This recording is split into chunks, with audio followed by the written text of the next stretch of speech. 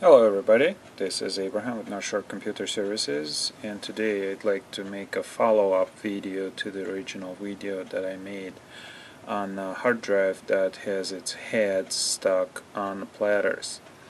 Uh, I had quite a few comments and questions ranging from everything to everything. Uh, first thing is there is a difference between clicking and um, buzzing noise.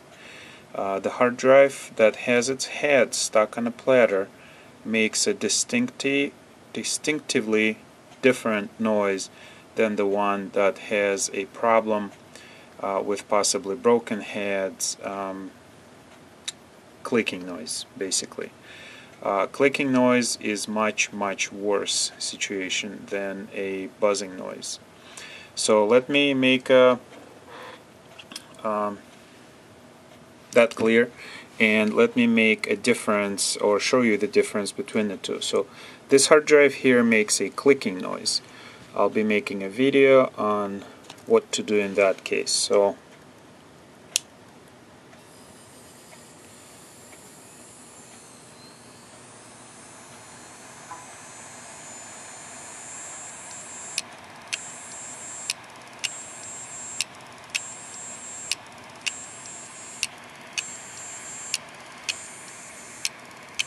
this noise is bad. Okay? If you have a clicking noise chances are your heads are damaged. If your heads are damaged chances are your platters are damaged. If your platters are damaged chances are your data is gone. Okay?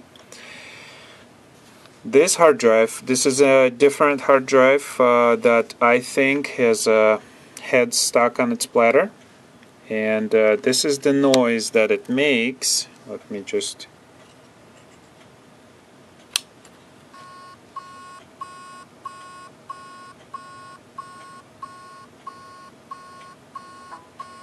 so it's actually a beeping noise as opposed to a clicking noise okay? So this noise we can deal with. If you have a clicking noise I would recommend going to a lab. Um, I've had quite a few people inquire if I do data recovery. I do data recovery, but only for people who live nearby, who actually bring their hard drive in or the computer in.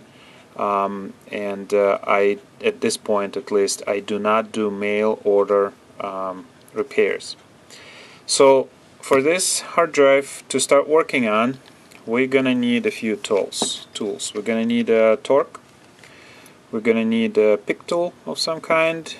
We're gonna need a pry tool. This is nice. Uh, so the torque that I'm using is T6 from a tool uh, HD74502. Uh, I purchased uh, this tool from Home Depot comes like this. So I have quite a few of these. They get lost quickly.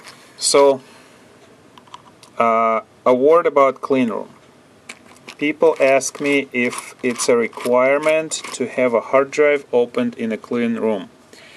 Uh, yes and no, depending on what you're going to do with a hard drive, and also depending on how clean your current room is.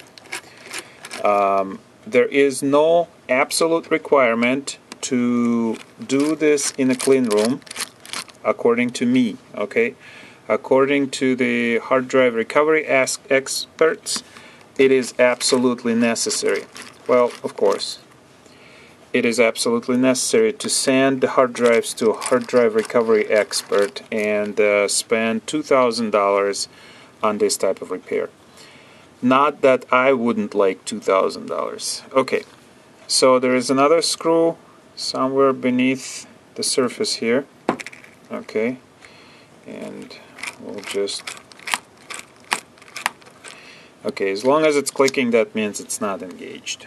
Then we use our pry tool to open up the hard drive. Now this hard drive is 250 gigabytes. and what do we find on the inside okay the heads are not in parked position so that's a very good sign. What we're gonna do is we're gonna use this tool to pull the heads back heads back and at the same time we use the same T6 torque to turn the platter. This has to be done extremely carefully. Alright so the heads are parked um, there is some dust on the hard drive but as it starts spinning very fast the heads don't start moving until the hard drive the platters are at full speed. That's why this dust it is true that the dust is right like rocks on the surface but as it spins the dust will go into this um, filter so as it spins, the airflow goes around and gets trapped on the inside of this little air filter that's inside of your hard drive. The reason there is air filter in a hard drive is any one of these pieces could produce a small shaving and that shaving would get in the workmanship of the hard drive. For that reason, there is a trap, small air filter. Okay, that's the reason why you do not absolutely need a clean room. Now, I've been babbling here for a while, and the reason for it is I do not need this hard drive. This hard drive has been um, basically forgotten. Nobody cares about it. Nobody cares about the data on it. Most likely, the data is recoverable from this hard drive right now. I don't know yet there is no word. So, but I'm babbling because I'd like to make it clear. Uh, another question that I've been asked is if I'm wearing any anti-static equipment. It is a good idea to do that. Touching all these electronic components could cause sparks. So um, honestly, I'm not wearing anything. Uh, and the reason for it, experience. I know where to touch and where not to touch. As long as you're touching metal surfaces and not the electronics, you do not have to have the um, um, static equipment attached to yourself. Uh, this pad is statically distributed, so that's okay. Um, so you might want to have some protection against static. Uh, I do get uh, questions and uh, concerns from data recovery experts or people who call themselves data recovery experts, uh, calling me names, which is just not professional. I think they're kids that are trying to say things. Uh, honestly, if there are data recovery as experts listening right now, what I would suggest you do is post this truth on the internet about how to recover properly recover data from a hard drive. People who can do things themselves are not going to send their hard drives to you for a $2,500 recovery. People who do not know get a feeling of trust where they understand that you have nothing to hide and this is your, uh, you know, you do this professionally. So that's the point that I'd like to make if there are recovery experts that are so afraid that something like this is going to cut into their profits. Yes, it's going to cut into your profits, it's going to cut into my profits. But uh, I'd rather people be happy than uh, be in dark. That's what YouTube is for. So, uh, I'm stressing the fact that it is not important to have these screws torqued. You don't want to have them too tight because there is rubber ring around it. You do not want to have them too loose because of course the air will get inside. If the airflow inside of the hard drive is broken, meaning that you have a cover open, you will mess up your hard drive. Uh, again, I'd like to stress the fact that do this on a hard drive that does not have information on it that costs a lot of money or somebody's going to get in trouble, whatever. This is for your own, uh, basically for your own uh, data that If you lose it, you can live with it, but at least you're going to say to yourself, I tried it and it didn't work. Or it did. A lot of comments are left uh, from people who have been successful. Like I said, this is not applicable to all hard drives. Some hard drives, the beeping noise that you hear, most hard drives, the clicking noise, probably don't even open it. Okay?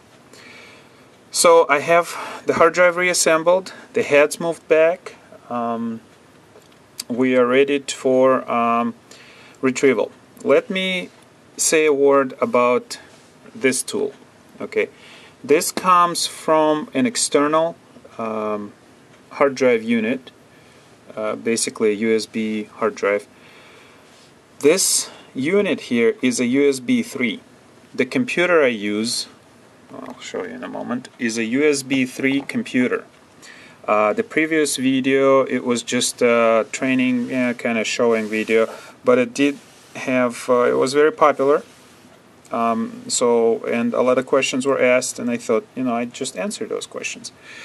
Um, the reason you want USB 3 is once you connect the hard drive, you want to get your data off of it as fast as possible.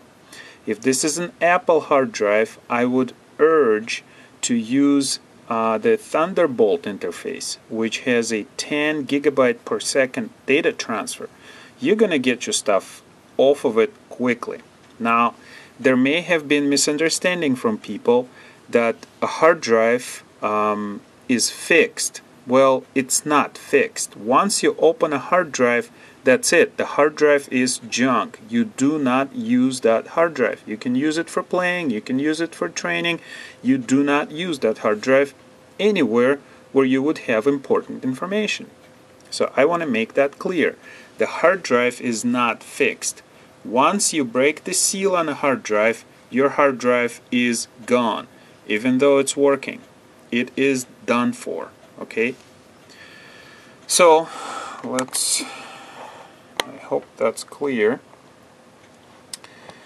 Let's uh, readjust the camera, get the light, bright light out of the way. Come on, alright. Uh, let's move the window down lower.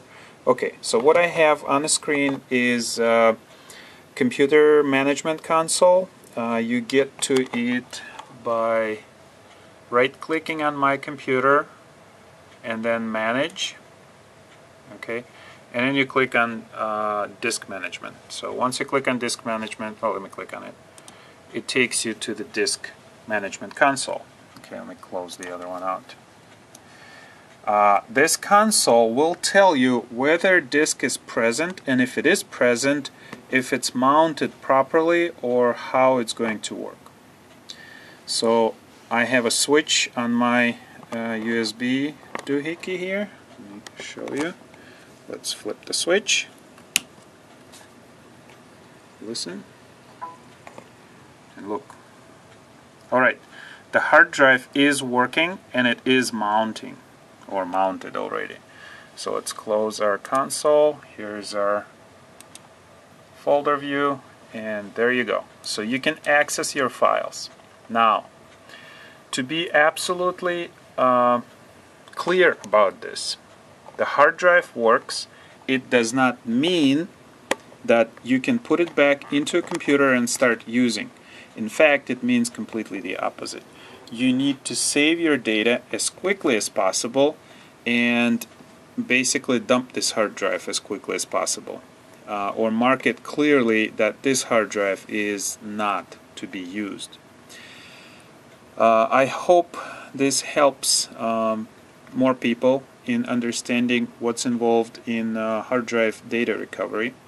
I hope it helps uh, data recovery labs to uh, understand that there is no harm in telling this to people. Uh, in my understanding, like I said, if someone is willing to do the work themselves, they're not going to pay $2,000 for recovery.